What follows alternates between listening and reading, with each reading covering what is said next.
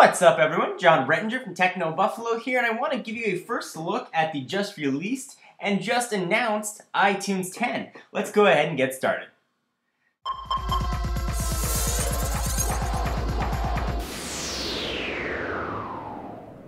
So the first thing you're going to notice about iTunes 10 is it's got a new icon. Gone is the CD in the background. You've got the music note with that little glowy blue circle. Let's go ahead and open it up and take a look at what iTunes 10 looks like. Alright, so here is iTunes 10, accessing the iTunes Store. Let's go ahead and take a look at music first. This is where you're going to get the new hybrid view. Uh, previously with older versions of iTunes, when you were looking at your music and you had a bunch of songs uh, in the same album, it would just list them all straight down with the album name. Now, if you have five or more songs in the same album, you're going to get this album artwork. See, I got some ACDC right here. It doesn't take up any more space. You can choose whether or not you want to have it or how you want to view it. Uh, just sort of a nice new way to visually look at your music and scroll through albums. But that's not the big thing here. That's not the main attraction what people want to see. What people want to see lives off here to the left, and it is Ping uh, Apple's new social media music experiment, I guess. Let's go ahead and open it up and take a real quick first look. So here is Ping. It gives you a welcome to Ping screen. I went through and set up my profile. Uh, on the right hand side, you can see where it says profile, my reviews, people, and featured. Let's go ahead and take a look at profile. And here's, I just set this up very quickly. You can see what a profile looks like. So it's got my name, I put a picture, uh, about me, recent activity, I don't have any yet. Uh, let me show you what it looks like when you set up a profile. We'll go off here to the right.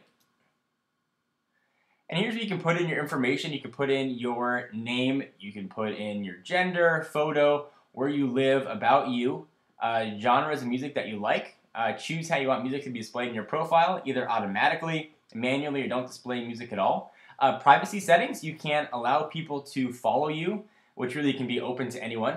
Uh, you can have people require the approval to follow you, so they can't just follow you blindly. You have to actually approve them, and they'll see all your information. Or don't allow people to follow you at all. Interestingly enough, we've got Facebook Connect here uh, as well. Let's go ahead and close this. Take a look a little bit closer at Ping. So here's your profile, and go ahead and look for people or search for people if you'd like. Go ahead and let's say look at featured. So here we got some featured artists. Go ahead and look at, let's say, Katy Perry go ahead and view the artist page and see these people are already ready to go. All the albums by Katy Perry you can see on the right. You got listeners also bought. This looks like another way to probably sell you music. Uh, Katy Perry music videos.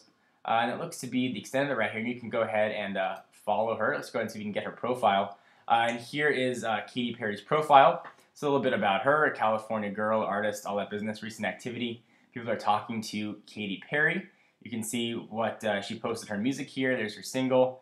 Talking already about it. Looks like her profile is pretty uh, active. So you can see what an active profile is going to look like. Very similar to Facebook. You can put pictures up there. Uh, you can leave comments on people's wall and sort of talk to them directly. And here's people that are following Katy Perry here off on the left. She's got 767 uh, followers. You can already see it right there. Pretty straightforward and pretty simple. This has been just a quick look at Ping. We'll take a closer look later. I'm curious to what you guys have to think about it. Whether or not you agree or disagree with Apple jumping into the social media field, uh, I'm sort of reserving my judgment so I have a chance to use it a little bit more. Anyway, I am Jon Rettinger from TechnoBuffalo, and I'll see you in the next video. Bye-bye.